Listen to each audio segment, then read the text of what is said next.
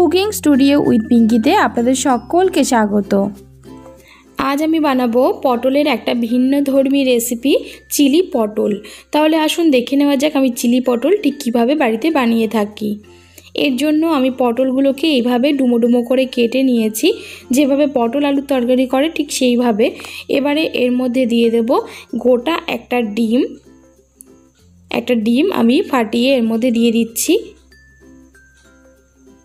বন্ধুরা, আমার রেসিপিটা যদি আপনাদের ভালো লেগে থাকে, তাহলে অবশ্যই রেসিপিটা দেখার সাথে সাথে লাইক করবেন আর আপনাদের মতামত আমাকে কমেন্ট করে জানাবেন। আর নতুন বন্ধুদের জানাচ্ছি, যারা এখনও পর্যন্ত আমার চ্যানেলটিকে সাবস্ক্রাইব করে নেননি, তারা অবশ্যই সাবস্ক্রাইব করে নেবেন আর পাশে থাকা বেল আইকনটাকেও ক্লিক করে দেবেন। ডিমটা দিয়ে দেওয়ার পর এর মধ্যে কিছু মশলা দিচ্ছি, দিয়ে দিলাম লবণ, সামান্য একটুখানি হলুদ, আদা রসুন বাটা, আর দেব কাঁচা লঙ্কা বাটা দিয়ে দিচ্ছি ওয়ান টেবিল স্পুন কর্নফ্লাওয়ার মশলাগুলো সবই আমি ওয়ান টিস্পুন করে দিলাম। খুব ভালো করে এগুলোকে মিশিয়ে নেব। এটাকে মাখানোর সুবিধার্থে আমি একটা প্লেটের মধ্যে নিয়ে নিয়েছি আর আরও ওয়ান টেবিল স্পুন কর্নফ্লাওয়ার দিয়ে ভালো করে মাখিয়ে নিলাম। খুব ভালো করে মাখিয়ে নেওয়া হয়ে গেছে। এবারে এগুলোকে ডুবো তেলে ভেজে নিতে হবে। তার জন্য কড়াইয়ে দিয়ে দিলাম পর্যাপ্ত পরিমাণে তেল। তেলটাকে গরম করে নেব। তেলটা গরম হয়ে গেলে এর মধ্যে একটা একটা করে পটলের পিস দিয়ে ভালো করে ফ্রাই করে নিতে হবে। মিডিয়াম ফ্লেমে ফ্রাই করবেন, তাহলে একটু ক্রিস্পি হবে। একটা সাইড ভাজা হতে দেব। বোথ সাইডই খুব ভালো করে ভেজে তুলতে হবে। এবারে আমি এটাকে উল্টিয়ে দিচ্ছি। রেসিপিটা কিন্তু ভীষণ ইয়াম্মি একটা রেসিপি। খুব ভালো লাগবে, একদম নতুনত্ব আছে, আপনারা বাড়িতে ট্রাই করতে পারেন আর আপনারা আপনাদের বন্ধুদের সঙ্গেও রেসিপিটাকে শেয়ার করতে পারেন, তাহলে তারাও এটা রেসিপিটা করে নিতে পারবে।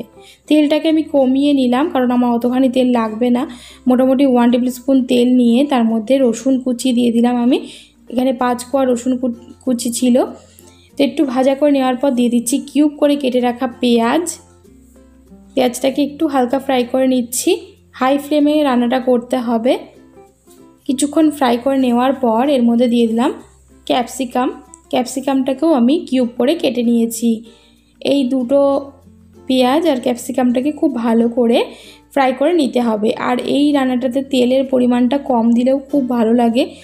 তেলটা যত স্কিপ করা মানে তেলটা যত কম খাওয়া যায় ততই শরীরের পক্ষে ভালো। দিয়ে দিলাম two tablespoon tomato ketchup. এবার দিচ্ছি one teaspoon chilli sauce, chilli মানে কাঁচা লঙ্কার পেস্ট বা আপনারা দিতে পারেন। আর আপনারা যদি ঝাল পছন্দ করেন, ঝাল বুঝে এই সসটাও অ্যাড করতে পারেন। দিয়ে দিলাম one four teaspoon soya sauce খুব ভালো করে মিশিয়ে নিচ্ছি। দিয়ে দিচ্ছি one four teaspoon sweet chilli sauce খুব ভালো করে মিশিয়ে নিলাম। সুইট চিলি সস যদি না থাকে, সেটাকে স্কিপও করতে পারেন। এবারে দিলাম ভেজে রাখা পটলগুলো। দিয়ে সসের সঙ্গে খুব ভালো করে নাড়াচাড়া করে নিচ্ছি। যদি আপনারা গ্রেভি করতে চান, তাহলে এরকম ডিম আর যে কর্নফ্লাওয়ারের মিশ্রণটা ছিল, তার মধ্যে সামান্য জল দিয়ে দিতে পারেন। আমি গ্রেভি করব, তার জন্য এর মধ্যে দিয়ে দিলাম। এবারে খুব ভালো করে মিশিয়ে নিতে হবে। আর যদি গ্রেভি করতে না চান, তাহলে এই মিশ্রণটা দেওয়ার কোনো দরকার নেই। আপনারা সসের সঙ্গে যে ভাজলেন পটলটা, তখনই নামিয়ে নিতে পারবেন। খুব ভালো করে মিশিয়ে নেওয়ার পর দিয়ে দেবো আমি ওয়ান টিস্পুন চিনি। চিনিটা সম্পূর্ণ অপশনাল, না চাইলে নাও দিতে পারেন। দিয়ে দিলাম। এইটা দিলে খুব সুন্দর স্বাদ হয়। খুব ভালো করে মিশিয়ে নিচ্ছি। এর থেকে বেশিও গ্রেভি করা যেতে পারে, তবে আমি এরকম রাখব। ব্যাস রেডি হয়ে গেল। তৈরি হয়ে গেছে আমাদের আজকের রেসিপি চিলি পটল। রেসিপিটা যদি ভালো লেগে থাকে লাইক করতে ভুলবেন না। নতুন বন্ধুরা অবশ্যই চ্যানেলটিকে সাবস্ক্রাইব করে আমার পাশে থাকবেন।